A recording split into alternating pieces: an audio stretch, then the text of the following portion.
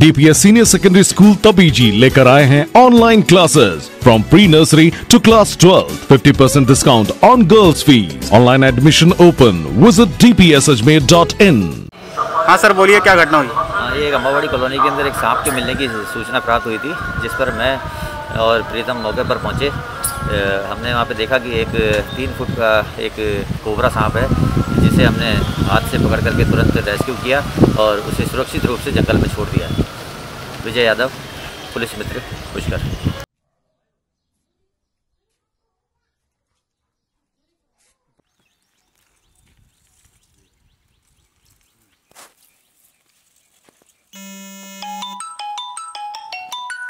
Thank you.